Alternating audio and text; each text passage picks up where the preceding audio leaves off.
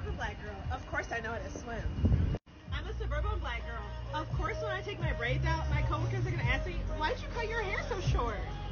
I'm a suburban black girl. Of course I love country music, but I know how to do it to be a high school. I'm a suburban black girl.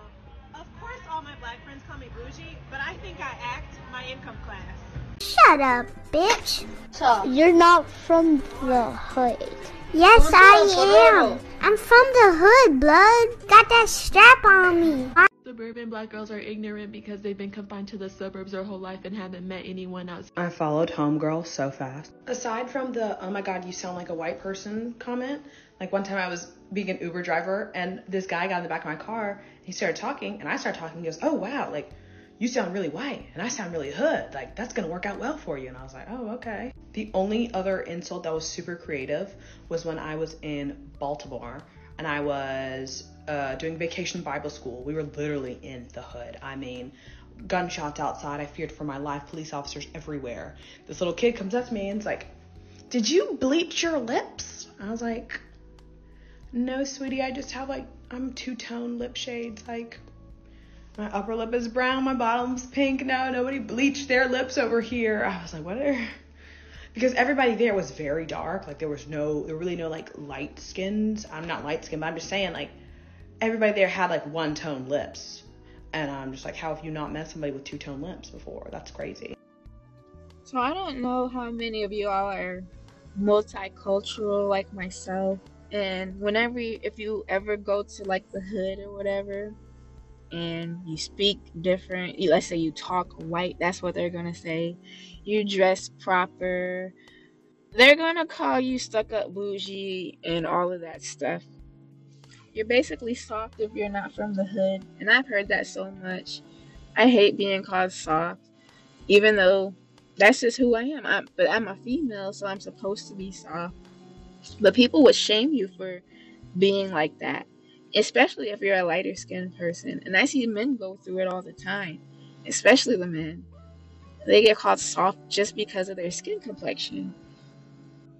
Even if you're darker skinned and you come from the suburbs or somewhere where it's not predominantly black and you speak proper English, people are gonna call you soft or or I don't know if people still use the word uppity, but you know what I'm saying? You you're you're in that category automatically if you don't speak if you don't have a black accent. I don't know another word for it.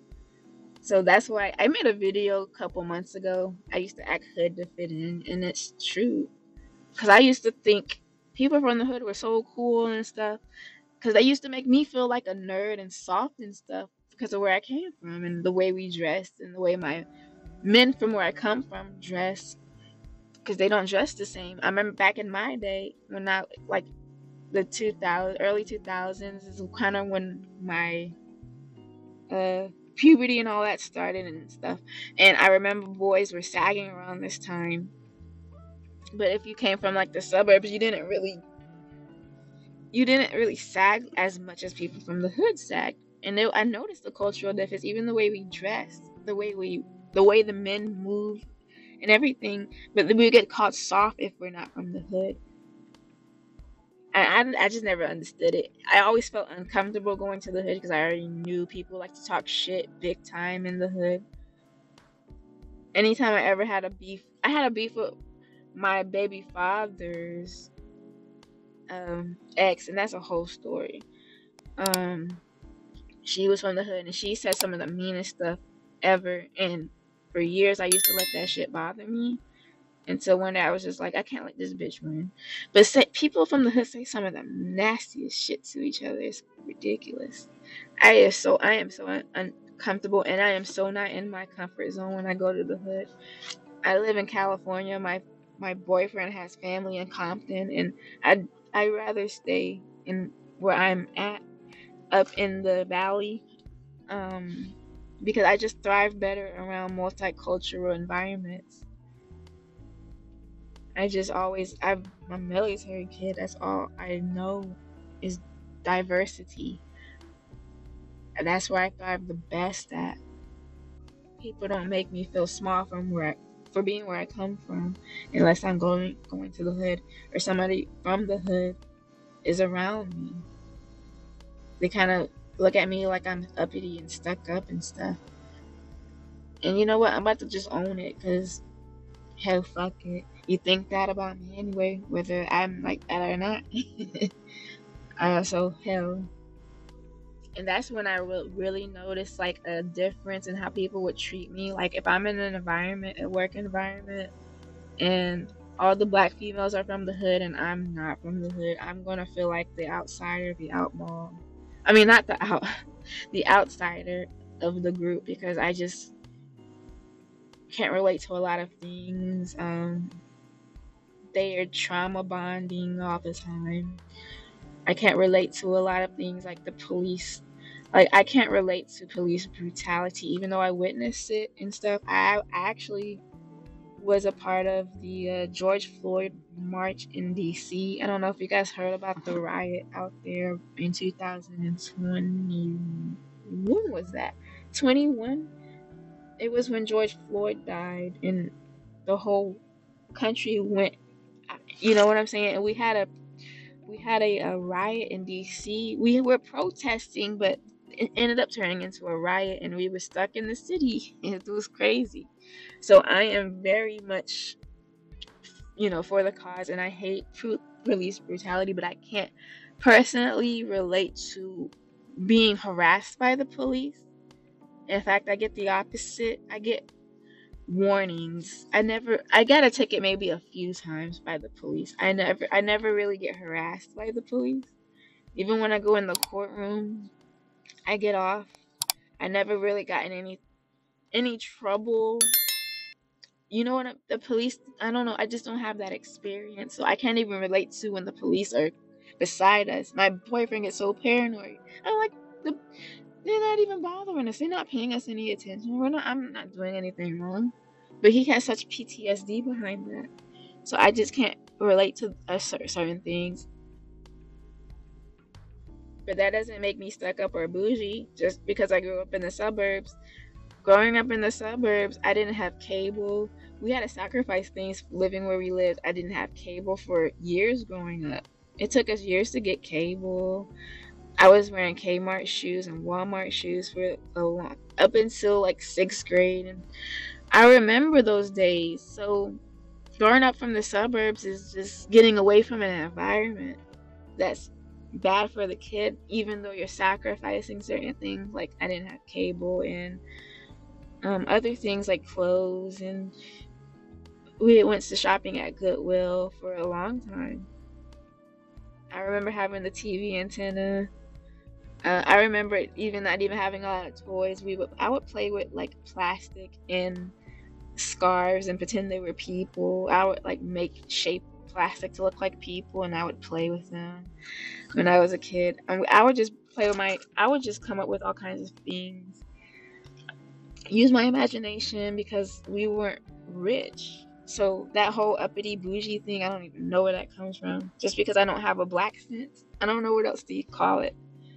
My grandma used to pick on us whenever we, me and my siblings would come visit her, because everybody else, all my other cousins, they never left the hood, but my father chose to take us out of the hood because he joined the military and we just spoke proper English. I thought that was just normal. People on TV talk like this, but when I come to the hood, everybody talks different. But I'm the weirdo. Okay, so I don't have anything against people from the hood. It's just I y'all don't make me feel too good when I come around. Even when you know how they say you can take the person out of the hood, but you can't take the hood out of the person.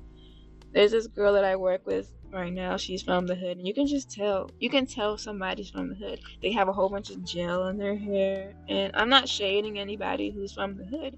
It's just there's a certain aesthetic that comes with somebody who's from the hood, even their demeanor and their mannerisms. She's very masculine in the way she moves, and I can tell she doesn't. She, my femininity kind of gets on her nerves a little bit. So I, I can't help that part either. I've always been feminine. I've never been nothing else. That's just how I've always been. I don't know. I grew up just looking at I I I admired Aaliyah growing up, so and then I had a lot of um I had a lot of representation of my phenotype in Hollywood. So I was able to be inspired by like people like Aaliyah, Toni Braxton, Whitney Houston. I would just those were my role models growing up because even though my mom was feminine, me and her didn't get along, so I never looked at her like that, like a role model. I looked at people on TV like role models, like TV moms, all very feminine women. I guess that's I don't know how you can come up not feminine as a woman unless you grew up around mostly men, but I don't know. I know I trigger women who aren't feminine or they don't like me automatically because I'm I don't know, but I don't really care anymore cuz this is who I am. But yeah, this is just a real quick video. Just wanted to make um, what do you guys think? Do you guys have the same experiences with people from the hood? Um, do you thrive better in multicultural environments if you're from the multicultural places or the suburbs? Or what are your guys' experiences? Let me know in the comments and I'll talk to you guys next time. Thank you for listening.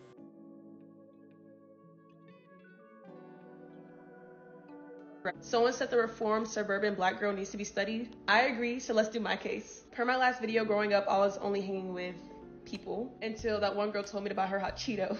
After that, my whole friend group was changed, everything changed. However, middle school was ending, so I had to find a way to keep it going. Because the high school I was supposed to go to had worse demographics. So at age 13, I was like, I'm gonna find an all black high school. So I found one, it was Magnet, first day of high school. I get there, people are like, oh, you do this like your way.